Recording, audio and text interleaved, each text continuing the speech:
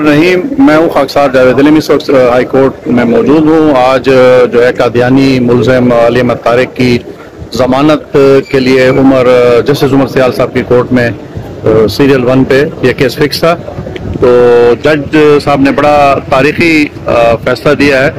और वजह इसके कि मैं आपको वो अल्फाज बताऊँ, इसमें जो मुदई की तरफ़ से जो वकील पेश हुए हैं हमारे सीनियर एडवोकेट मजदूर राजपूत साहब, और उन्होंने पूरा केस चलाया। मैं ये मुनासिब समझूँगा कि उन्हीं की ज़बानी जो है ये सारी जो चीज़ें हैं, वो आपको बताएँ कि किस किस्म का फैसला हो जी, मंजूर राजपूत साहब।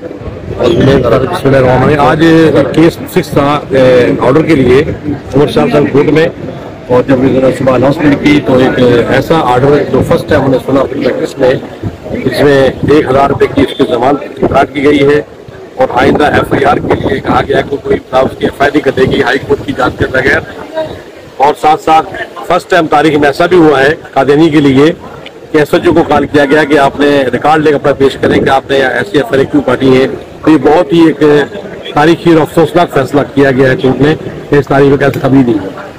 अच्छा तो आपने जिस अपने आर्गूमेंट में कहा था कि एक जो कानूनी इसमें ये थी झोल था कि 497 में पहले ट्रायल कोर्ट में जाया जाता है और मैंने बहुत सारी सुप्रीम कोर्ट की साइटेशन दी है कराची हाई कोर्ट की साइटेशन दी है दो हज़ार तेईस की साइटेशन दी है।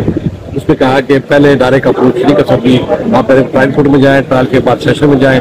शब्द हाईकोर्ट हाई तक है ऐसे हमने बहुत सारे सुप्रीम कोर्ट की, हाईकोर्ट की साइटेशन दी और जज सामने उनको अभी जजमेंट तफसील आएगी, पहले उसके बारे में उन्होंने क्या लिखा है। लेकिन कोई भी साइटेशन दो तरफ़ से, दूसरी तरफ़ कोई पेश किया डायरेक्ट कभी हाईकोर्ट ने उन्नीस सौ सैंतालीस से लेकर आज दो हज़ार तेईस से लेकर डायरेक्ट आफ्टर आर को बेल दी हुई।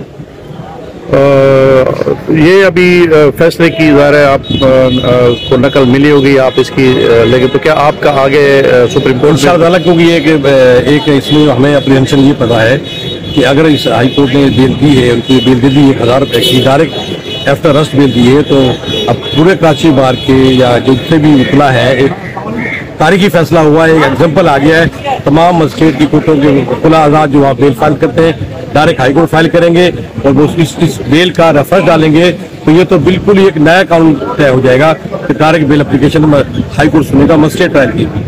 इसकी इस साइटेशन के बाद जजमेंट के बाद। जी वापन साहिब साहब आप इस पूरे सनारों में मतलब जो सबसे पहले आपने वीडियो चलाई और उसके बाद इस तहरीक में जाना है लोगों को तो आप क्या फरमाते हैं इस फैसले के मुताबिक उसमें यह भी कहा गया है कि आइंदा डायरेक्शन दी गई है कि इस मुलजिम के खिलाफ कोई एफ़ आई आर नहीं काटी जाएगी। इस सवाल से आप क्या कहते मेरे भाई और दोस्तों अलैक्म उस पहले मैं ये कह रहा था कि शर्म इनको नहीं आती। अभी भी मैं यही कहूँगा कि शर्म इनको नहीं आती। पूरा सिस्टम एक कादियानी की वजह से पूरा सिस्टम डिस्टर्ब हो गया है। अब जिस तरह मंदूर भाई ने कहा कि अब जब केसेस आएँगे जो भी एफ़ आई कटेंगी किधर भी शहर में कटेंगी डायरेक्ट उसकी बेल एप्लीकेशन आएगी हाई कोर्ट पे। मिसाल बन गई है इस तरह की मतलब आ, किसी कादियानी की वजह से पूरा सिस्टम इन्होंने खराब किया शर्म फिर भी नहीं आएगी। करते चलते मतलब इस तरह के काम अपने शहर में चलते रहेंगे कोर्टों में चलते रहेंगे।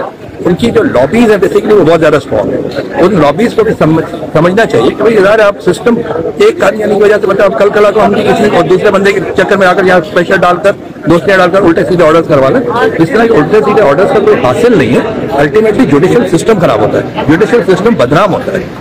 इन लोगों को भी ख्याल वकीलों का भी ख्याल करना चाहिए और ये जजों का भी ख्याल चाहिए। शुक्रिया बहुत साहब आप असिस्टेंट अटारनी जनरल भी रहे और माशाल्लाह आपकी बड़ी ग्रिप है टेक्नोलॉजी के ऊपर। तो आप इस फैसले के मुताबिक क्या आप फैसले का सिर्फ़ यही कहूँगा कि जनाब एक लकीर खींची हुई है कादियानियों में और मुसलमानों में। उस काज को जो है लकीर को ख़त्म करने की कोशिश की गई है। एक तो ये है कि जनाब ये बताइए कि क्या सारी जितनी भी जो एफ़ आई आर हैं, जो मजिस्ट्रेट ट्रायल होंगे, क्या वो सारी जो है, फाइलें अब यहाँ पर होंगी? जितनी बेलें होंगी यहाँ पर होंगी? या सिर्फ़ जो शख्सियत को देख के या उनके चेहरों को देख कर सिर्फ़ वो बेलें दी जाएँगी? यहाँ पे शख्सियत परस्ती है। और मुझे तो लगता है कि जनाब ये ये भी कादियानी है। ये लगाने वाला भी कादियानी है और जिसके पास ये जिसने फैसला कर ये भी कादियानी है। ये हमें सोचना पड़ेगा और देखना पड़ेगा।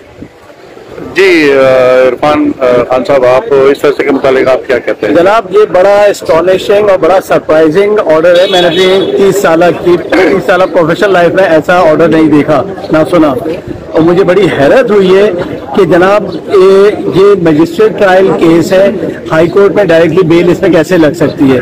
दूसरे ये कि ये रिपीट कर रहा है ऑफेंस को ये बार बार रिपीट कर रहा है और इसके खिलाफ एफ़ आई आर लॉन्च ना करने का भी हुक्म दिया गया है कि आइंदा इसके खिलाफ कोई केस फ़ाइल कंप्लेन लॉन्च ना की जाए। तो ये बड़ा सरप्राइजिंग है और ये सुप्रीम कोर्ट में हमें जाना होगा और सुप्रीम कोर्ट में हम इसको देखेंगे इस केस को इंशाल्लाह। थैंक यू साधु जिस तरह मंजूर भाई ने ये बात कही कि एक नई प्रेसिडेंट जो है वो सामने आ गई है कि आपकी जितने भी एफ़ आई आर अगर दर्ज हो, मुलजमान अरेस्ट हो तो आपको कहीं जाने की ज़रूरत नहीं है। यहीं पे हाई कोर्ट में और स्पेशल बेंच है, जस्टिस साहब की, जो कि रिलीफ दे रहे हैं। और आप अपनी फाइलें ले आएगा यहाँ पे आपको। फ़ौरन हिसाब बजाय कि आप मजिस्ट्रेट की कोर्ट में जाएँ, बजाय कि आप किसी और कोर्ट में जाएँ। आपको कहीं भी जाने की ज़रूरत नहीं है। यहाँ पे सस्ता इंसाफ, क्योंकि हज़ार रुपए के अगेंस्ट आपको यहाँ पे श्योरिटी भी हज़ार रुपए है। और आपको कोई परेशानी भी नहीं है तो आपको सस्ता और फौरी इंसाफ मिलता सर मैं इसका इंटरप्ट करूँगा आपको।